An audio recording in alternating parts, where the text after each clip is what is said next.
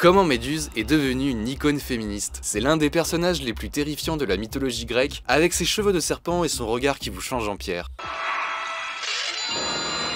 Méduse vit aux confins du monde, tapis dans une grotte, avant que le héros grec Persée la débusque et lui coupe la tête. Pourtant, à l'origine, Méduse était une belle jeune femme. Elle aurait été transformée en monstre par la déesse Athéna pour avoir eu une relation avec Poséidon. Dans certaines versions du mythe, cette union aurait été consentie, mais dans d'autres versions, Méduse aurait été abusée par Poséidon. Pendant plus de deux millénaires, Méduse est représentée plutôt négativement, soit comme un monstre, soit comme une sorcière, soit comme une femme fatale. Mais dans les années 70, l'autrice Hélène Sixou publie un célèbre essai qui change complètement le regard qu'on porte sur Méduse. Elle explique que Méduse est belle, qu'elle rit, qu'elle n'est pas maléfique, et qu'elle est en fait une victime des hommes. Une vision qui trouve un certain écho avec le mouvement MeToo. En 2020, l'artiste argentin Luciano Garbati installe une sculpture du personnage devant la cour pénale de New York, où est jugé Harvey Weinstein. Dans cette version, c'est Méduse qui a coupé la tête de Persée.